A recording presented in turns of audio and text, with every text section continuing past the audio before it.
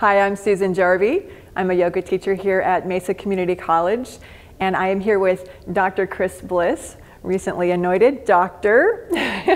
We're going to be doing a short yoga practice today, and we hope that you'll join along. As you join in, please make sure that you honor your body and um, just make sure that you're feeling comfortable with the poses. Um, any dull and achy sensations are generally okay. But if there's something that's sharp and pinpointing, then please don't do that. So listen to your body and do what feels good for you. And of course, follow your doctor's advice um, in terms of practicing yoga. So we're going to take a comfortable seat to start. So we'll sit cross-legged if you can. If it's uncomfortable for you to sit cross-legged, then feel free to stretch your legs out or even sit in a chair. Once you come to your seat, let your hands rest lightly on your legs. Elbows rest right below the shoulders. And we'll begin with closing our eyes. If you're uncomfortable with closing eyes, you can always look down three or four feet in front of you and widen your gaze. As we close our eyes, we're able to close out the world around us, allowing our attention to move inside our bodies so that we can be mindful as we practice this next 20 minutes. Take this time to scan your body from the tips of your toes up to the top of your head. And as you're scanning, please notice any places that feel tight or sore or uncomfortable. Notice anywhere you have tension.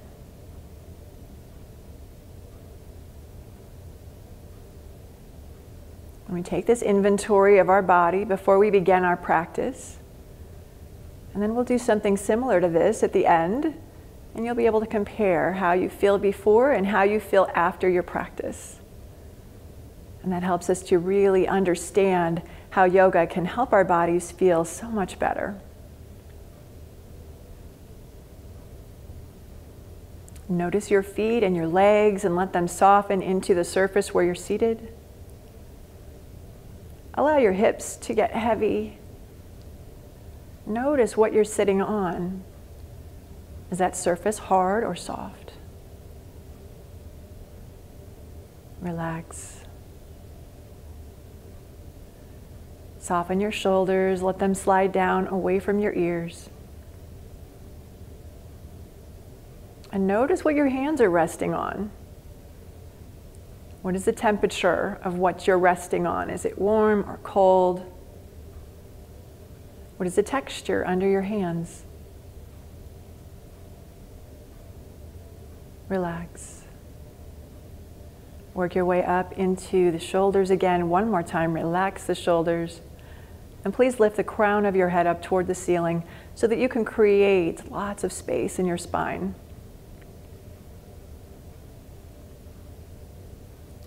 Please move your attention to your breath now and start to notice what you feel as you breathe. What are the sensations you feel? Maybe your belly and chest expand on the inhales and Contract on the exhales. Watch the breath and let it slow down and smooth out all by itself.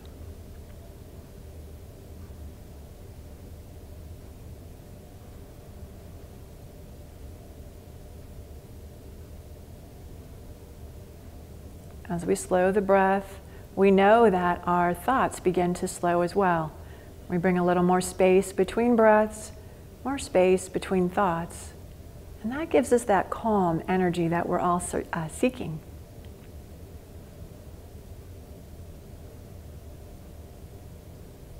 Just two more breaths, breathing in, belly expanding, and breathing out.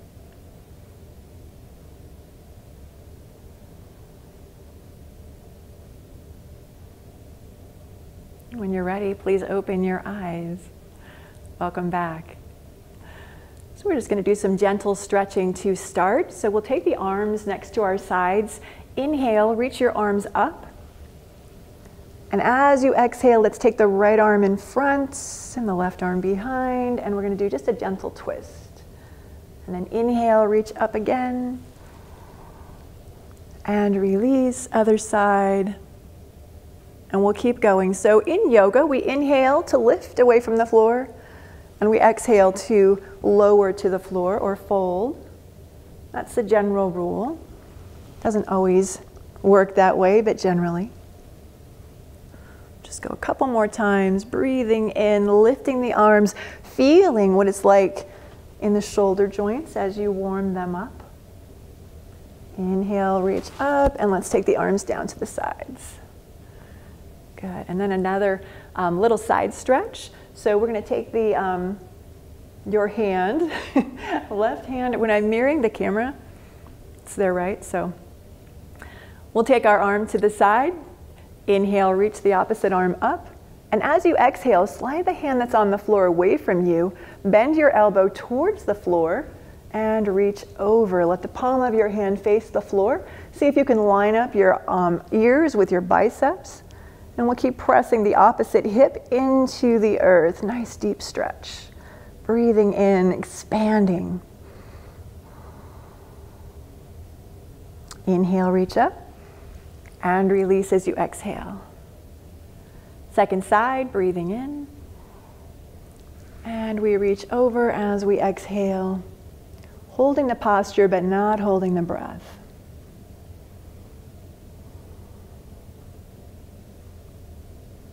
Inhale, reaching up and release.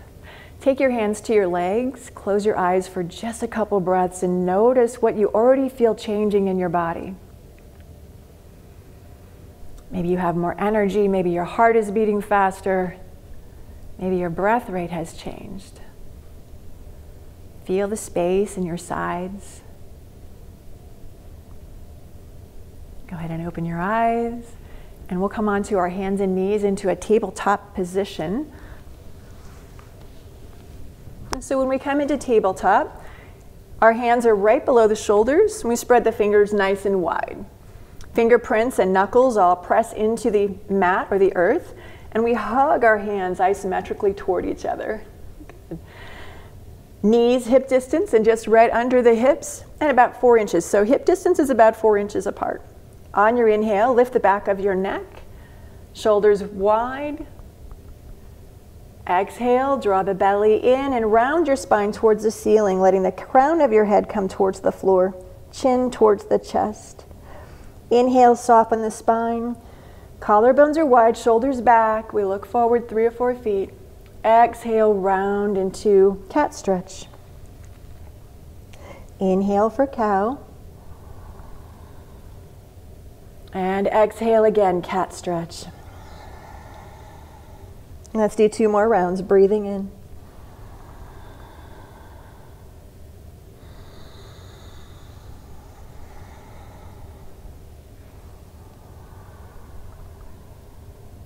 On this exhale, let's go ahead and move to child's pose. So we'll take the seat towards the heels as far as you can comfortably go for your knee health. Arms are straight. On your inhale, we're going to come right back up. So we're moving dynamically. Coming to tabletop, look forward for cow, and move back to child's pose again. This gives us a chance to warm up the knees and the hips and begin stretching into our lower back. Inhale to come up. And exhale, moving back. One more time, we come up. And exhale back, and we'll pause here. Go ahead and bend the elbows, let your forehead come towards the floor. Seat is on the heels or close to the heels. As you breathe in, your belly expands into or between the thighs. And as you breathe out, everything softens and gets heavier. If your head is levitating off the floor here, please feel free to stack your fists or your forearms and rest your head there.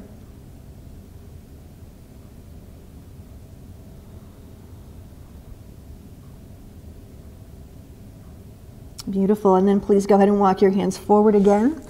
We reach towards the top of the mat as far as we can reach. Lift the underarms away from the floor. Inhale, come up to tabletop. Curl your toes under and lift your knees off the floor. We'll go into downward facing dog. And we'll hold Try not to pedal the legs out just yet. We'll just stay here for a couple of breaths notice what this feels like. Fingerprints, knuckles are pressing into the earth. Belly draws up and in, and our ears are lining up with the biceps. Go ahead and bend your right knee, letting the left heel sink towards the floor. Take a breath. And then switch. Left knee bends, right heel sinks. And then walk it out. Back and forth a few times as you stretch into the back of your legs.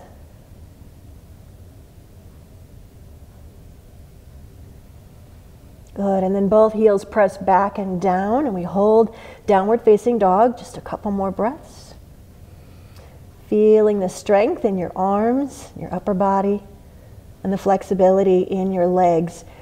If you find that your back is rounding towards the ceiling like this, then bend your knees and let your spine find some length. When you're ready, take a look at the top of your mat and we'll take a walk to the front. So, walking or stepping, whatever it takes to get your feet up to the top of the mat. Let your feet rest hip distance and please bend your knees. So, we bend the knees so we have um, length in our spine. Let's go ahead and hold the elbows, letting the forearms and the elbows drop towards the floor. Tuck your chin in towards your chest, back of the neck long, and then gentle swaying back and forth. Just a little bit of movement to release and unravel the spine.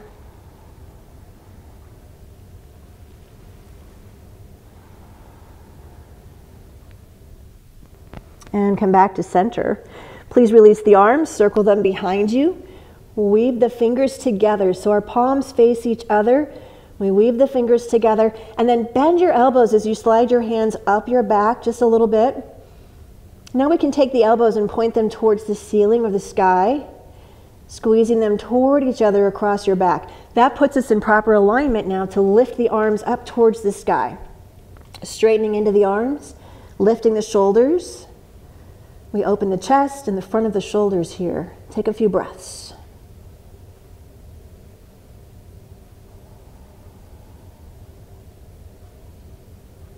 Exhale, let your hands come down. And we take our hands wherever we can reach, either to the floor in front of the toes or to your shins. On your inhale, we're going to come up just a few inches, maybe three, um, a third of the way or halfway, long spine. As you exhale, fold in, get a little closer to your legs. And let's do that again. Breathe in, long spine. Exhale, so we breathe out and we fold in. And one more time, breathing in and release, letting go as you fold into yourself. Give your knees a nice bend. Inhale, the arms go to the side, and we come all the way up. Reaching high, hands come together overhead. Exhale your hands home to your heart. Good, and then we'll come into Tadasana, and we'll face the camera.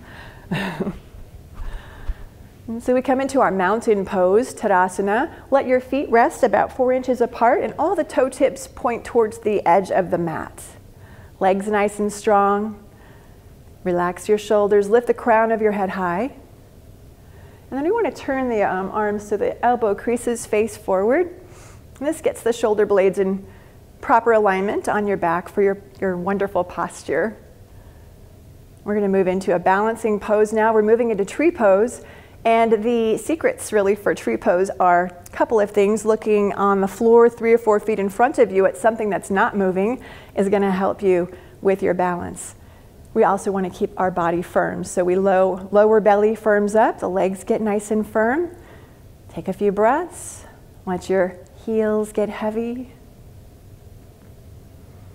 And when you're ready, take all of your weight over to one foot and bend into the opposite leg, the knee.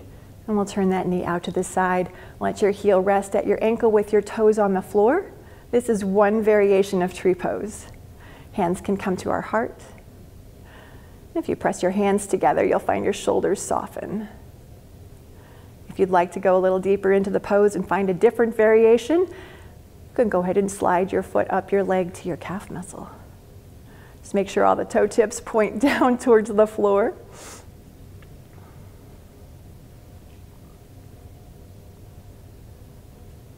And if you've got that and you want to go a little deeper, maybe reach down and lift your ankle so that your foot comes onto your inner thigh. Hands hug together. And maybe lift your arms and take a few breaths. Exhale and release. As you come down, let your feet come down to the floor into your mountain pose again. Close your eyes for just a moment. Notice how you feel different from side to side. Our tree pose is a balancing pose. It is also a hip opener, so you might find that your hips feel a little different.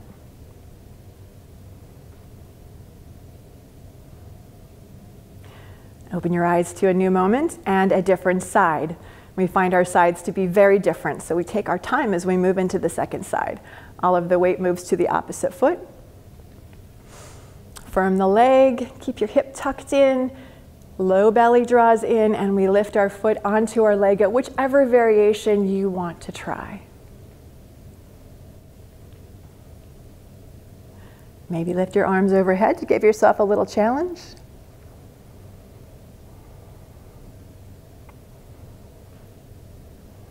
And when you feel complete, exhale, both hands come down, and we bring our foot back to the floor and arms next to the sides. Close your eyes again and scan from the tips of the toes to the top of your head, noticing how you feel.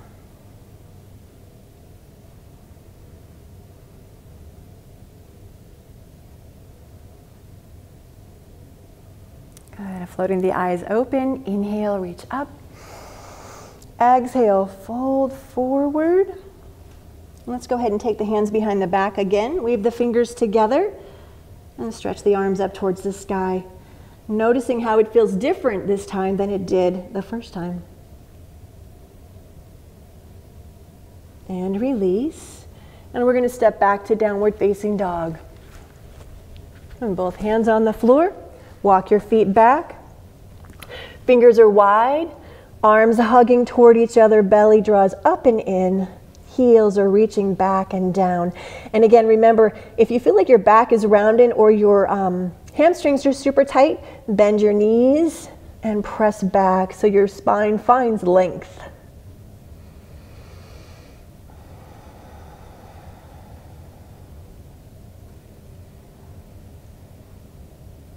Please exhale. Let's take the knees to the floor. And we'll sit back in child's pose again. Bend the elbows, let your forehead come to the floor. If you'd like classic child's pose, you can take your arms behind you. Palms face up, forehead comes down, and we breathe.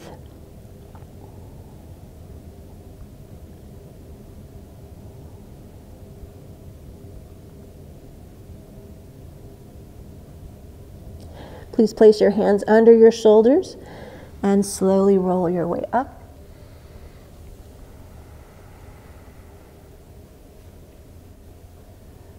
and then find your way onto your back. So as you roll your way down, either way, keep your knees bent with your feet on the floor. That helps to protect your back as you roll your way down onto your mat. Use your belly as you roll, and then let your hands rest on the floor, arms next to your body, palms face down.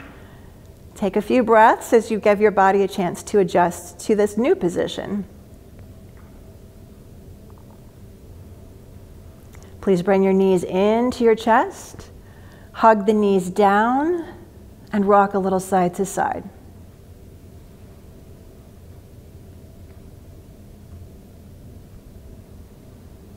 Come back to center. We're going to take a hand to each knee and move the knees away from the body, open the knees wide, and come back to center. Just a couple of times as we open the hip muscles stretching into those muscles that support us.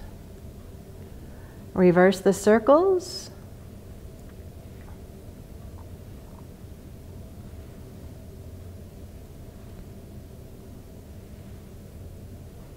And we come back to center. Hug the knees in. And then when you're ready, we're going to roll to a side. As we roll to our side, we'll take one arm overhead so we can roll over to a fetal position. Let your head rest on your arm. Tuck your knees close to your chest. Take another breath. And then find your way up to a seated position. And we're back where we began. We'll sit cross legged. Let our hands rest on our legs. And please close your eyes. With your eyes closed, scan your body and notice how you feel. And remember how you felt just a few minutes ago. Notice what changed, what feels different. Where you had tension, maybe it's not there. If you don't notice anything at all, that's okay. The more you practice, the more you begin to notice how yoga can bring more space into your body, more space between breaths, and more space between thoughts. Please join your hands together in Anjali Mudra. So, as our hands come together in, um, as if in prayer, there's a little space between the palms of the hands. I like to think of that space as a nice place to hold my gratitude. So the hands come together Think of something that you're grateful for in this moment and hold it right between your hands. And then we'll take a nice deep breath. Breathe in. A long exhale through the nose, releasing and letting go of any tension or stress you're still holding. Thank you for joining me today. Again, my name is Susan Jarvie. In gratitude, have a great day.